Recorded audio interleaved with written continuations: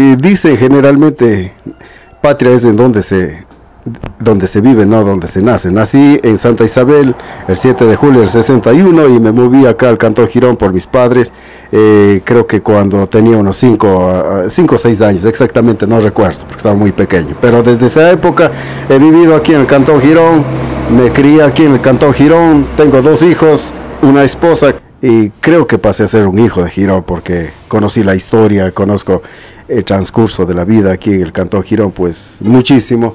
Mi dedicación es pues ser radiotécnico, creo que de por vida, aunque soy también agrónomo, estudié en el Alejandro Andrade del cual me siento muy orgulloso, un colegio muy prestigioso en aquellos años, pues me gusta hacer, ah, y también soy hasta carpintero porque me gusta, pero para casa, no para negocio, más bien es un hobby. Igual en la casa mm, mm, hacemos esto de, la agronomía, pero es solamente para casa.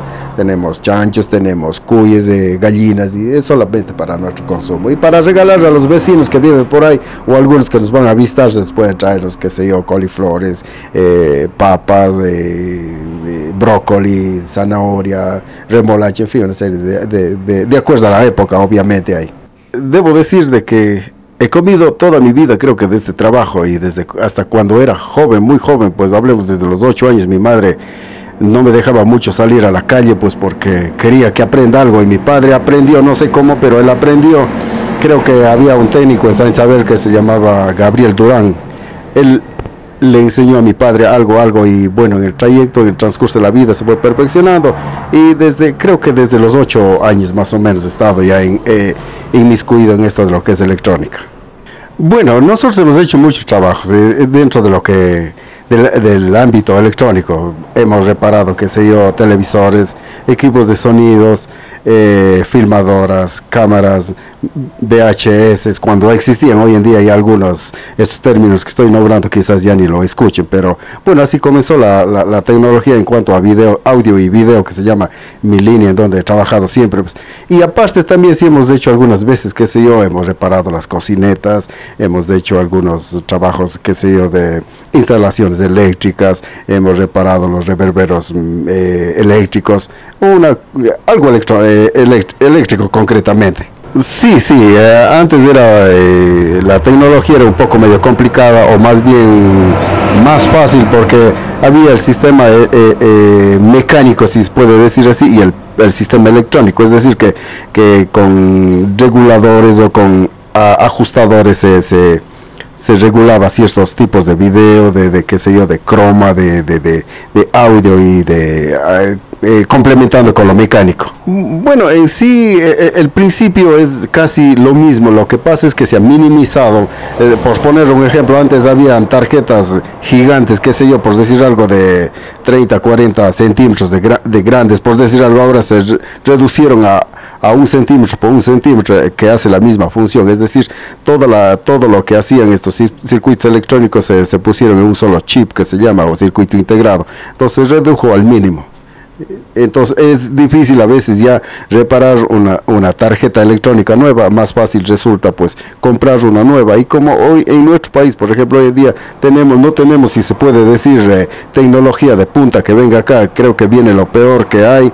Entonces eh, prácticamente vienen a ser eh, productos desechables, es decir, de que cumplió su, su, su, su propósito y se acabó. Bueno, en sí dentro de, mi campo no ha habido trabajos complicados. Lo complicado ha sido a veces conseguir las partes o los repuestos. Entonces ahí sí ya se puede, ya no puede uno hacer absolutamente nada porque no hay los repuestos. Entonces lo que se le dice al cliente, pues lamentablemente ya no se puede hacer nada y se le entrega al cliente y lleva sus aparatos a, tenerlos guardados o de, de adornos o de recuerdos. Eh, mucha gente no conoce cómo comenzó la tecnología, ¿no? Eh, en cuanto a audio y video, pues, anteriormente teníamos grabadoras inmensas con, con casetos o con, cintas de que, se llamaba, pues, luego vinieron los discos de vinil, antes de eso vieron los discos de piedra, las vitrolas que, bueno, algún rato ojalá tenga la oportunidad de hacer un pequeño eh, museo pues para poderles enseñar cómo fueron los discos de piedra.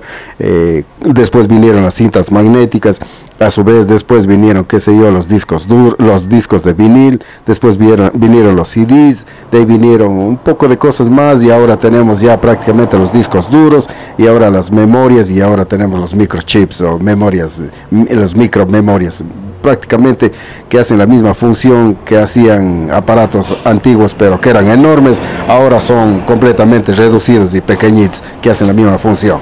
Tuve que emigrar a Estados Unidos por motivos de, de faltas de oportunidades aquí en nuestro, nuestro país, pues entonces tuve que salir, entonces tuve que ir a hacer labores, qué sé yo, de limpieza, de lavar platos, de cocinar, hacer hamburguesas y esas cosas que me ayudaron mucho allá, entonces hasta aprender inglés, aprendí inglés, entonces tuve de nuevamente que ir a trabajar en un taller eh, también de electrónica, porque debo decir en Estados Unidos también se hacen reparaciones de este tipo, pero ya es en otro, en otro campo, es decir, ya son campos más eh, con aparatos más sofisticados, o en ese tiempo eran así, pues aparatos muy finos, muy caros, eh, es otro mundo, prácticamente la gente no es así, se dañó un aparato y se fue a la basura, o si es que es un aparato, como digo, de alta gama, pues muy caro, entonces sí lo mandan a los talleres y eso es lo que hacía yo allá, reparar aparatos muy finos y muy, buenos, pero de ahí así televisores pequeñitos y prácticamente usted los encuentra botados en la e, e, en la basura sí para irse, entonces ahí es donde mucha gente hispana aprovecha para agarrar esos televisores. Y, les cuento también que allá fue a trabajar en, en el apartamento o el departamento en donde vivíamos o en una casa que rentaba un cuñado mío ahí ahí, puse un pequeño tallercito, entonces ahí daba servicio técnico también a algunos compatriotas míos. Les cuento con la experiencia que yo tenía en el taller, por ejemplo, a veces yo me ingeniaba y arreglaba y venía el, dueño y el jefe dice, ¿cómo hiciste? ¿Y la pasta? No, digo, yo ya le hice. Hombre, dice, pero si nosotros aquí no hacemos eso, nosotros ya lo cogemos y le botamos. Dice, ¿qué garantía me das? No te preocupes, le decía, eso va a trabajar muy bien. En serio, decía, decía, eh, me decían, digo, claro, eso va a funcionar, está garantizado. Dice Raúl, te tomo la palabra y te creo. Entonces ahí practiqué y obviamente que fue un aprendizaje muy, muy amplio y, muy bueno. Bueno, eh, en mi taller todavía llegan televisores análogos, antiguitos y están ya comenzando a llegar los nuevos, pero como digo, pues todos son desechables. A veces ya aquí no se puede hacer absolutamente nada, los repuestos no se puede conseguir, a pesar de que hay productos que son hechos aquí en el Ecuador, pero es difícil conseguir repuestos, por ejemplo, una tarjeta o qué sé yo, los, los LEDs, un poco de cosas que, que viene ahora, que la tecnología nueva pues es un poco difícil. Eh, son puro tarjetas nada más. Es, es complicado, a veces el repuesto cuesta más que un tele, entonces lo que técnicamente, pues yo honestamente se le dice mejor, le recomiendes comprarse otro televisor. Pero en lo que se puede se hace alguna cosa. La tecnología ha cambiado una barbaridad, pues antes teníamos buenas cosas que, que nos duraban bastante tiempo, pero hoy en día tenemos ya una tecnología desechable, es decir, de que... Eh, no sirven mucho, no podemos garantizar mucho. El trabajo que se hace, pues a veces eh, uno arregla una cosa y luego se daña otra cosa, entonces es un poco complicado. Pero ahí estamos, pero si puedo rescatar, pues hay cosas antiguas muy excelentes que, que las personas en su afán de, de, cambiar, qué sé yo, han, han votado, se han deshecho de estas cosas y, y han comprado cosas nuevas que en sí ya no duran nada. Sí, también lo hacía la relojería, pero hoy en día ya no, ya no, es no, no es tan rentable. Claro, quedará para la memoria de algunas personas como vos y yo. Conocí, tuvimos la suerte de ponernos un reloj, qué sé yo, un Waltham, un, Waltham, un Ori, un Seiko, un Rolex, qué sé. Pero ya para la nueva generación ya no, que ahora ya, sí, creo que hay, pero ya no mucho. Es más, ya hoy en día ya casi ni, nadie utiliza un reloj porque, eh, excepciones, porque todo está en el celular. Las cámaras se dejaron ya de arreglar hace unos 4 o 5 años atrás ya no se arregla. Las filmadoras igual nos han relegado ya. Nos relegaron también el, el, el, el, DVD y todas esas cosas, ya casi ya no se repara. Y yo, yo, pienso que debe desaparecer en algún momento. Les cuento que a veces yo ya también quiero retirarme. Creo que tengo lo que necesito. Dios me ha dado lo suficiente, no necesito más y estoy contento. Pero me gusta estar aquí, venir a Girón, conversar con algunos amigos que hay muy pocos, obviamente ya muchos ni me conocerán porque salí como 15 años de aquí de, de, de Girón, entonces es bastante tiempo para mí para como para que algunos ya no me conozcan. Ahora estoy atendiendo solamente dos días, de lunes a viernes desde las 9 de la mañana hasta las 6 de la tarde.